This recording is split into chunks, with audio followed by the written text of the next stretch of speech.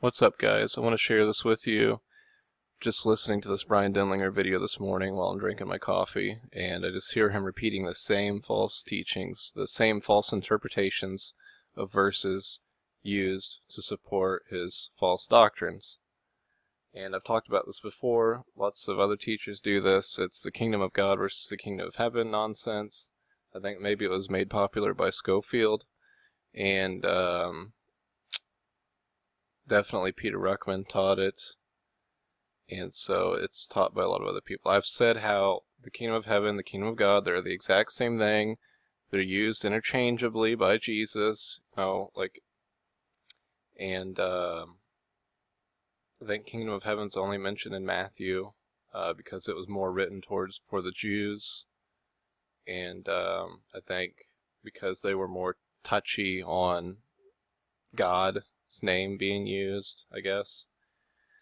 Um, something like that. But it's just a figure of speech. Basically, God is thought of as in heaven. His throne is in heaven, even though he's omnipresent. But, uh, you know, it's said that God is in heaven. And so that's why the kingdom is of heaven, and the kingdom of God is the kingdom of heaven. It's the same thing. Okay? It just takes a little bit of studying. Uh, you know, it takes the Holy Spirit and you to understand this, but I don't really think it's very hard, especially when you see Jesus use them interchangeably. You can think, okay, it's the exact same thing, just different, you know, it's the, it's the same idea. But it's used to teach also this futurism, this future thousand year reign on earth. They say that's what the kingdom of heaven is. So you see, it's, it's multi-errors here but that's basically the the end of it is to get to to where there's it's another proof for them to teach their false futurism doctrine of a future millennial kingdom, which is not true. And it's not true that the kingdom of God and the kingdom of heaven are different things. That, that one is a spiritual kingdom and one is a physical kingdom or whatever. False. But let's listen to this fool go over this again. Wicked, not just false converts, false prophets they will try so hard to imitate Bible believing Christianity. I mean, there are some guys with PhDs, master's degrees, whatever else, and they study Bible believing Christianity. But I went back a little bit far, but it'll be Why? coming up. They're not born again. So they can parrot what they've learned in some seminary or Bible college or whatever else, but they don't get the mysteries. They'll get mixed up on the mysteries. All right? But uh, the kingdom of God there in verse 10, see, there you have um, in the Gospels, there are two kingdoms mentioned the kingdom of heaven and the kingdom of God. The kingdom of heaven is always 100% of the time, the time, always a reference to a physical kingdom on the earth with its headquarters in Jerusalem that will be coming in in the millennial kingdom. I think it's 11 verse 12. Oops, I just messed up and instead of pausing the YouTube video, I paused the recording video, but I hope that works right. Anyways, he just said that the kingdom of heaven always represents the future millennial kingdom. Ah, false. There is no future millennial kingdom. That's a futurism doctrine. False doctrine. Let's continue. Let me just make sure that quickly. Yes, Matthew chapter 11, verse 12. And from the days of John the Baptist until now, the kingdom of heaven suffereth violence, and the violent take it by force. Okay, so the people say, that's heaven where God is. Nobody that's violent is going to take heaven by force from God. Okay? Uh, let's continue a little bit. It's talking about a physical kingdom on the earth. Kingdom of heaven only appears in the book of Matthew. Okay. I've went over this before. The kingdom of heaven suffereth violence, and the violent take it by force. He says this can't be speaking of um, the spiritual kingdom of heaven because it can't be ta physically taken by force. He's taking this hardcore literally, okay? It's obviously figures of speech being used here, okay? It's saying that so many people are coming and getting baptized by John, it's like they're taking the kingdom of heaven by force. Because so many are rushing in to get in through there, to get into heaven. Okay? It, so it's it's actually like a good thing. I mean, there's so many people being converted. It's like they're represented as, you know, violently storming into heaven, like trying to, you know, to get saved, to come to, to come to repentance. Um, so yeah, it has nothing to do with some with some future physical millennial kingdom. Um, and again, he just said that most of the time, or that all the time, whatever, the the kingdom of heaven speaks of a future millennial kingdom. But here it says the violent, the violent um, take it by storm, like as if it was happening right then. So it wasn't speaking of some future kingdom. Okay. But it's talking about heaven and salvation in general. Okay. God's kingdom. You know, all of us who, who submit to Christ's lordship, we are part of his kingdom. Okay. But it's obviously, it's figure of speech has nothing to do with anybody taking anything physically, literally, violently. Okay? So this fool doesn't get this. He's repeated it over and over and over again after years and years and years of studying. Because, I don't know, he has no discernment. He just reads this Ruckman garbage. And he's just not going to repent of this. You know, I don't even think he restudies things to, to see if the things that he's saying are true. He just continues to make new studies and teach new new errors and just repeats the old ones within those studies over and over again while making up new ones. And so, you know, this isn't even really about Denlinger. Like I said, Scofield taught it, Peter Ruckman taught it, Robert Breaker teaches it. All kinds of people teach this nonsense. But it needs to stop, and we need to see that it's wrong. Okay? You're, speaking as a fool, not trying to understand what the Bible really teaches I mean, it's really not that hard, folks. It's really not that hard. And it always, 100% of the time, refers to the kingdom that is coming, the millennial kingdom with Jesus in Jerusalem, as you know, sitting there ruling and reigning for the thousand years. The kingdom of God, on the other hand, again, there's no future millennial kingdom. Okay, let's just continue. Yeah. The kingdom of God can be both. It can be a reference to uh, the kingdom of heaven, but usually it's a reference to the spiritual kingdom, fellowship between us and the Lord. All right, um, and you can see there's a verse I can't think of where it is right now, but it talks about um, you know that the time will come when the Jews are basically going to see you know Gentiles sitting down with with you know Moses and Abraham and Isaac, you know, and all these fathers of the Jewish in heaven. Yeah, in heaven people, and they're going to be sitting down in the kingdom of God, and the Jews are going to be thrust out. All right, so that's a reference to the kingdom of God being like the kingdom of heaven. Okay. No. Why would he's like so again? He's like they're sitting down and stuff. So this has to be like the physical reign on earth in the future. Uh, no, in heaven. It's pretty easy to understand. Okay. Wow.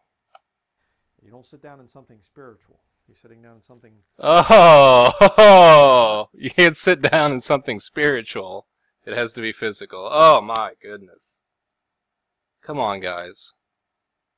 You know better than this. I pray to God that my listeners or anybody who watches this video can clearly see what I'm what the point that I'm trying to make here and the error that this fool is teaching. You can't sit down on something in heaven? Doesn't it talk about God sitting on his throne in heaven? What a moron. Wow. Ooh, man. Man, man, man, man, man. Lion to this thing of the kingdom of God here being spiritual. You can go back to Romans chapter 14 just to show you here real, real quickly. Romans 14 verse 17 says, "For the kingdom of God is not meat and drink, those are physical things. But righteousness and peace and joy in the Holy Ghost. All right. So when you read in the Paul. So he says, I hate it when they do this too. I hate when they twist all these things. But it says, the kingdom of God is not meat and drink. And he says, those are physical things. So the kingdom of God is the spiritual kingdom. That's the conclusion that he comes to. And the kingdom of heaven is the future physical, literal kingdom. Absolute insanity. Man, the kingdom of God is not meat and drink. Look at the context of that, Romans chapter 14. Okay? He's saying that the kingdom of God is not about the ceremonial laws and stuff like it used to be, okay, for the Jews, to where you couldn't eat this, you couldn't drink that on these certain days or whatever, and there's all these strict rules. He's saying no, it's all about it's about serving Christ, it's about grace. Okay? Paul's not trying to make any kind of point like what Denlinger's trying to make. Okay? Because what Denlinger's saying is false. There is no future millennial kingdom. You guys need to get that through your head. And you need to realize that there is no rapture, and all this futurism stuff is nonsense. Realize that Revelation is an allegory. Okay? And there's we need Revelation, and it's an awesome, amazing book, okay? But there is no rapture, there's no future millennial kingdom, okay? And it's not sad to realize the truth that none of that stuff exists. You know, it's glorious, and we should be grateful that Christ is risen, and we will be risen like him when we die. And that's what our hope, and that's what we look forward to, okay? We're going to be with Christ, and we're going to be with other believers in heaven.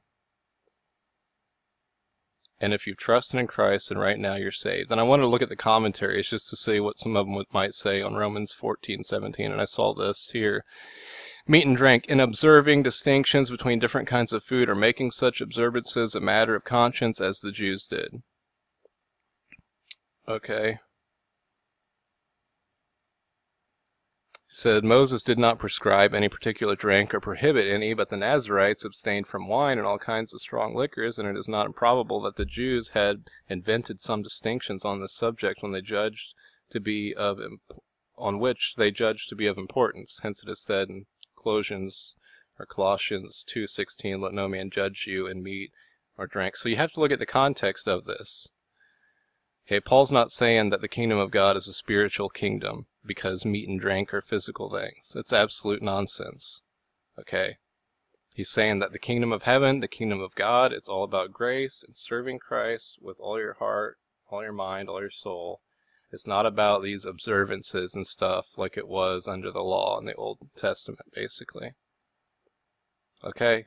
And I need to do another study on this to go through these verses more, maybe. Definitely. And I plan to for a long time, but I haven't gotten around to it. But Anyways, I talked about it before. Denlinger just keeps saying the same stuff, and he'll continue to. I'm pretty sure, pretty confident that he'll never repent because you see, if people give this up, then they're closer and closer to realizing that the millennial kingdom is false and that the rapture is false. And that's a whole system that comes crumbling down. And people have been teaching on this for years and years and years, and that would be a lot hard to swallow. But, uh, you know, it can happen by the grace of God. And I pray that it will for some people. And I'm glad that the Lord showed me this pretty early. Um, but, you know, I took time to carefully consider things and to, to research a lot. And I'm not saying that people who teach this stuff haven't researched a lot, but something's wrong here. Something is wrong. I mean, to say, to look at the verse that says the kingdom of heaven suffereth violence because the violent, you know, force their way in or whatever to say that to try to take that literally and physically like that, I mean, you're really not thinking. You're really not considering. And then to twist, you know, Romans 14, 17, that says the kingdom of God is not meat and drink, and to try to use that to say that the kingdom of God isn't physical because meat and drink are physical things. And for Denlinger to say that people can't sit in heaven in a spiritual realm. Ay, ay, ay, ay, ay folks. And we see Jesus interchangeably using the kingdom of heaven and kingdom of God. And kingdom of heaven is only used in the book of Matthew, which has a lot of things that are, are specifically pointed towards Jews to to help Jews see that Jesus was the Messiah. Ay, ay, ay. Guys, it's, it's just unexcusable after so many years of studying and teaching. because I, I really I think I think you know I don't know how everybody is, but uh, I really get this feeling like these people don't go over their own beliefs and question their own beliefs and restudy things that they have felt certain on for a while.